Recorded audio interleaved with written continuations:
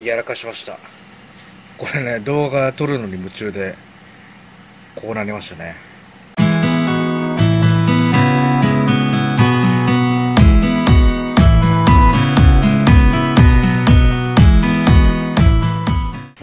はいどうもともです。今日はですねまたまたベタ動画になるんですがねマジックリーフも沈んでいい感じにブラックウォーターになっております。でベタの方もねまだ発色的には上がってはいないんですけど、まあ、昨日よりはねだいぶ良くなったと思います。尻尾が赤でねで体が、まあ、ボディがブルーと、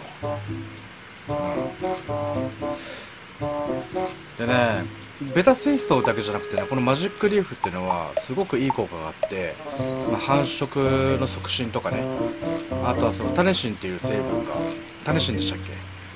そのマジックリーフから出る成分が、えー、病気の予防とかねそういうのにもなるんでお魚には優しいんですけどただその干渉する上に当たってね水がちょっと茶色っぽくなるんでね。まあやりたがらない人はやりたがらないんですけどブリードとかいろんな熱帯魚とかにもねこれ使えるんで僕はマジックリーフ使ってるようにしてます。でプレコだとねプレコの赤ちゃんとかもう結構この葉っぱ食べるんで、まあ、万能な葉っぱになりますね。で今回はねこちらのベタちゃんに餌を与えていこうと思います。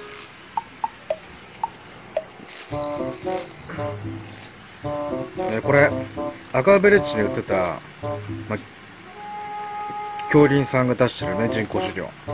光ベタだと思います、ま、納豆菌とかいろんな菌が入ってて。で、ま、汚れを抑えるしなおかつめっちゃ食ってくると。確かに一輝さんのブログとかでも結構市販の餌になりやすいようにねいつも与えてるそうです。で、まあ、与え方は1日に23回ベタ1匹に対して 6, 6から10粒ずつ与えてくださいと。で水質の悪化を防ぐために食べ残した餌取り除いてくださいと。で成分表とかはねうんなかなかいい感じ。でオキアミ入ってるんでね多分発色とかも良くなるのかな。とりあえずこれを与えていこうと思います。どんぐらいだろうな。乙姫の B2 よりかも多分もしかしたら小さいかも。でこれだと与えすぎなんでこれの半分ぐらいの量をね与えていきます。やらかしました。これね動画撮るのに夢中でこうなりましたね。はい気を取り直してね与えていこうと思います。これねほんと小さいんで袋のままから取り出すとね見える？こんな感じなんですよ。だから何か容器に入れて与えるといいかもしれないですね。大体ね水面から見えるかな。20粒20粒ないぐらい落としました。1日経ったけどまだ慣れてないかな。まあそれにしてもねだいぶいい感じに発色は上がってきましたね。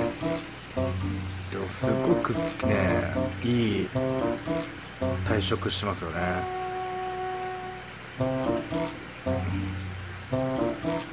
これが制御になるとどういう感じになるんですかね。おでもオスのベタの方がなんかちょっと今興奮してる。多分匂いでわかるんでしょうね。魚って。ほらこっちだってこっち。こっちにあるんだよ。水面に。そうそうそうそうそう。いけいけ。いかんか。いきそういきそういきそう。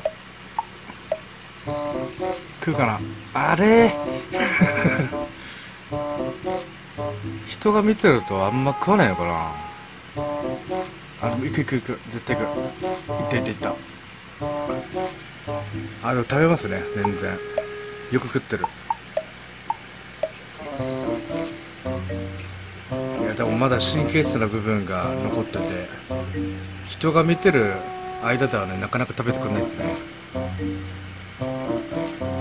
はい今回はね、えー、ワイルドベタかな？ハイブリッドベタの人工飼料を与える動画でした。チャンネル登録いいねよろしくお願いいたします。とまでした。